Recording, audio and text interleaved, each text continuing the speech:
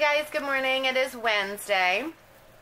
And I thought I would just pop in real quick and let you see what I'm going to do. I'm, I'm heading out to uh, Indiana on Friday. And I've been thinking about uh, meals, you know, for my family while I'm gone. And I found a nice website. I'll post the link below of a woman who cooks 30 frozen meals um, for the month in one day.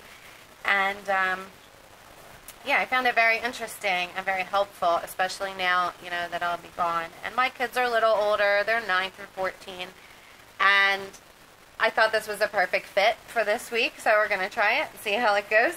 Um, so I just had started with a quick menu list um, of meals, and then I moved over to make an instruction list for my kids on uh, what to eat, what to make when, which will involve um, some oven cooking and some crock pot cooking, but everything will be frozen, prepared, ready, and all they have to do is pull it out of the freezer and put it wherever it needs to go.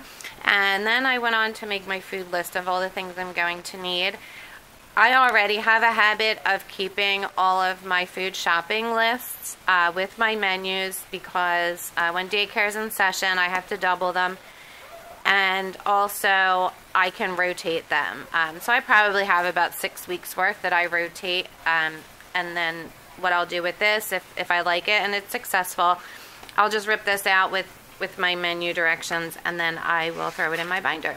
So, um, so yeah, it sounds fun, and I hope you guys are interested. I don't know, some of you might already do this.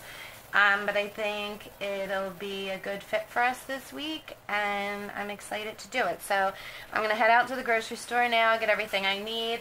I need um, some foil pans, some aluminum foil, and some freezer bags, which I'm going to get at Aldi. And um, whatever I don't find there, I'll hit the dollar store and then move on to the grocery store. Um, I find I save a little bit of money by going to Aldi's and then uh, the dollar store and then the food store because I hate going to the food store. I, I, don't like to travel to too many different food stores, but sometimes one has a really great meat special, and then sometimes there's no meat special. So, yep, so I will check back in with my grocery haul, and then I will move on to a video on how I'm preparing the meals. And uh, I hope you like it, and if you guys already do this and can share some recipes, I would love to hear it. Okay, talk to you later.